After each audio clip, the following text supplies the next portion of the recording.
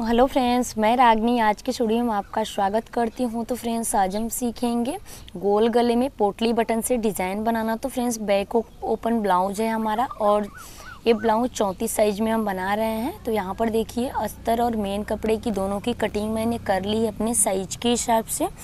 और यहाँ पर शोल्डर लिए हैं साढ़े पाँच इंच, क्योंकि डीप नेक में डिज़ाइन है हमारा। तो साढ़े पाँच इंच हम शोल्डर लिए हैं। और आर्म होल की लंबाई यहाँ पर हम पौने छः इंच लेंगे, लेकिन स्लीवलेस ब्लाउज है हमारा, इसकी वजह से हम छः इंच इसकी आर्मोल की लंबाई ले रहे हैं। ब्लाउज की टोटल लंबाई यहाँ पर हम साढ़े चौदह लिए हैं, साढ़े तेरह में इसे हमें रेडी करना है। सीने का चौथाई भाग साढ़े आठ इंच और दो इंच मार्जिन के साथ हमारा साढ़े दस इंच में है। यहाँ पर देखिए फ्रेंड्स दो इंच, दो पॉइंट हम ऊपर से गले की चौड़ाई ले रहे हैं। और गले की जो टोटल लेंथ है, यहाँ पर साढ़े ग्यारह इंच में ले रहे हैं। आप चाहें तो गले की लेंथ को थोड़ा सा कम या ज़्यादा कर सकते हैं। नीचे से देखिए, गले की चौड़ाई हम तीन इंच ले लेंगे और इस तरह से एक बॉक्स रेडी करेंगे। तो देखिए बॉक्स रेडी करने के बाद से गले में सेप देने के लिए एक इंच हम बाहर की साइड बढ़ा लेंगे गले की चौड़ाई को और कॉर्नर से हम एक इंच पे एक मार्किंग कर लेंगे। और देखिए, दोनों निशान को आपको टच करते हुए इसमें गले में शेप देना है। तो इस तरह से देखिए, आपको गले में शेप दे देना है और मार्किंग करके अगर आप शेप देते हैं तो गला का जो शेप है, बहुत परफेक्ट आता है। इसमें हमें पोटली बटन डालना है, इसकी वजह से हम गले की चौड़ाई थोड़ा ज़्यादा ले रहे हैं। अगर आपको पतला गला चाहिए तो गले की चौड़ाई को आप थोड़ा सा कम कर सकते हैं। यहाँ पर देखिए पेस्टिंग पेपर लेंगे। और पेस्टिंग पेपर को बिल्कुल सेंटर में रखते हुए हम जिस तरह से गले की मार्किंग हम अस्तर के ऊपर किए हैं, उसी मार्किंग को यहाँ पर डार्क कर लेना है, क्योंकि गले को हमें पेस्टिंग पेपर से बनाना है, अस्तर पर नहीं कट करना है। यहाँ पर देखिए पेस्टिंग पेपर पे मार्किंग करने के बाद से एक इंच बाहर की साइड करते हुए मार्क कर लेंगे और इस पर हम गले की कटिंग कर लेंगे।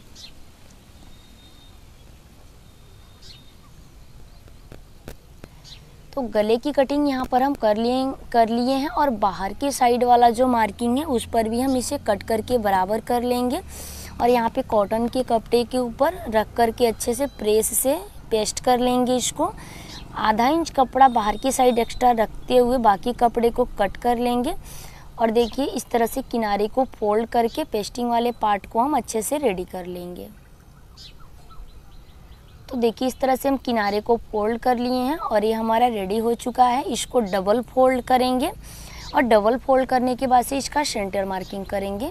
देखिए, बिल्कुल बीचों बीच में एक नीचे की साइड लाइन ड्रॉ कर लेंगे और ऊपर की साइड बराबर करते हुए देखिए कट लगा देंगे।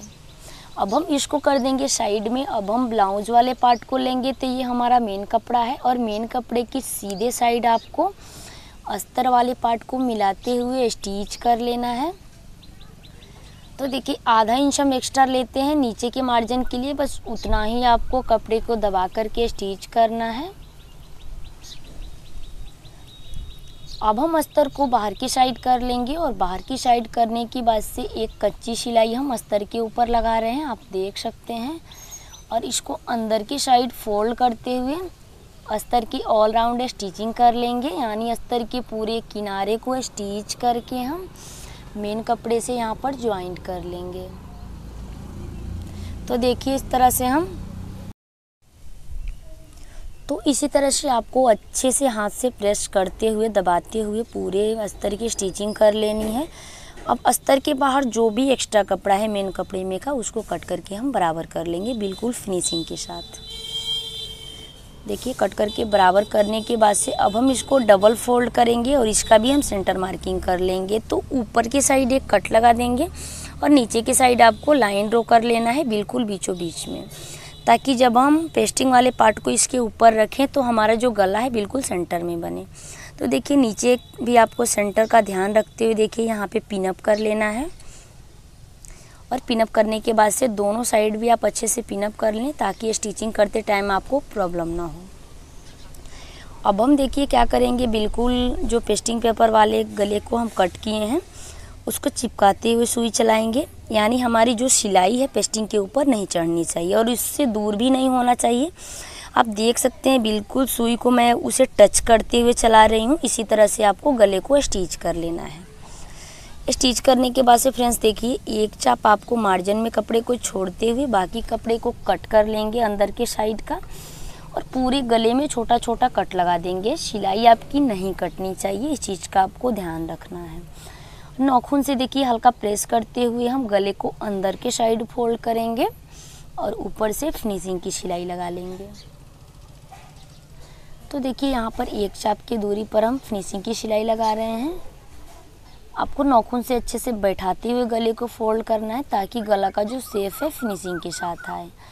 अब देखिए फ्रेंड्स, इसको बिल्कुल सेंटर से फोल्ड करेंगे और बीच से कट कर लेंगे। देखिए इस तरह से।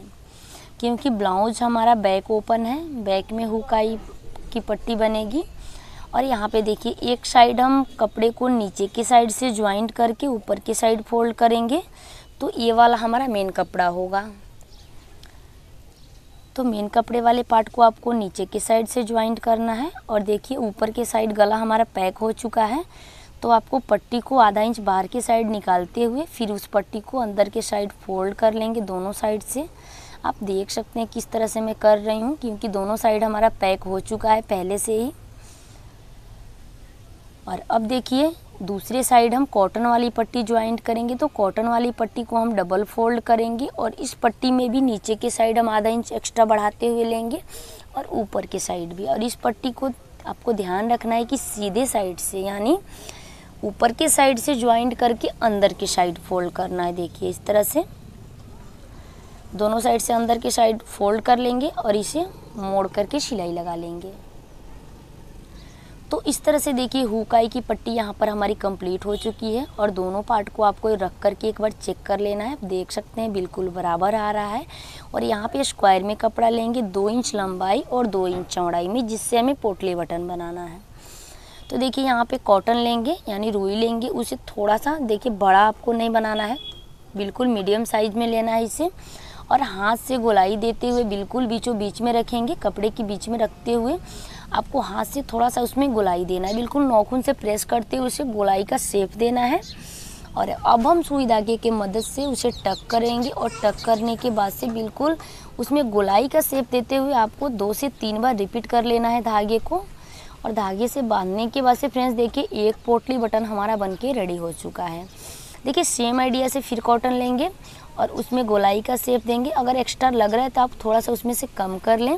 लेकिन पोटली बटन का साइज़ एक बराबर होना चाहिए। देखिए, बिल्कुल सेंटर में रखे हैं और फिर नौखून से प्रेस करते हुए इसमें गोलाई का शेप दिए हैं।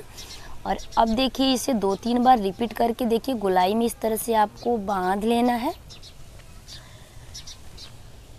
तो देखिए, दूसरा पार्ट भी यहाँ पर हमारा रेडी हो चुका है। सेम आइडिया से देखिए हम पूरे पीस को रेडी कर लेंगे, जितना में हमारा गला कवर हो जाए। तो यहाँ पर देखिए फ्रेंड्स पोटली बटन को मैं आपको सुई से लगा करके बता रही हूँ क्योंकि मशीन से स्टिच करने में प्रॉब्लम होता है। तो इस तरह से देखिए ऊपर से एक से डेढ़ इंच छोड़ते हुए मैं स्टार्ट करेंगे पोटली बटन लगाना। और आप देख सकते हैं कि सुई से किस तरह से मैं दो तीन बार रिपीट करके एक बटन को अच्छे से बाँध ले रही हूँ। फिर दूसरा बटन लेंगे और एक इंच की दूरी पर इसको भी हम टक करें, कर लेंगे। तो देखिए यहाँ पे हम उल्टे साइड से आपको स्टिच करके बता रहे हैं कि देखिए, इस तरह से धागे को आपको कट नहीं करना है। धागा आपका कंटिन्यू चलता रहेगा। देखिए, इस तरह से। बाहर के साइड आपको ज़्यादा लंबा धागा नहीं टक करना है। अंदर के साइड से आपको दो तीन बार रिपीट करके इसे बाँध लेना है। और इसी तरह से आपको पूरे गले में पोटली बटन लगा लेना है। तो देखिए, दो यहाँ पर कंप्लीट हो चुका है और सेम आइडिया से पूरे गले में हम लगा लेंगे। और यहाँ पर इसका फाइनल लुक आप देख सकते हैं फ्रेंड्स पूरे गले का और बैक में टक्स लगाएँगे। उसके बाद से हमारा डिज़ाइन कंप्लीट होता है। तो फ्रेंड्स मैं उम्मीद करती हूँ कि वीडियो आप लोग को पसंद आएगा वीडियो अच्छा लगे तो लाइक शेयर सब्सक्राइब करना ना भूलें।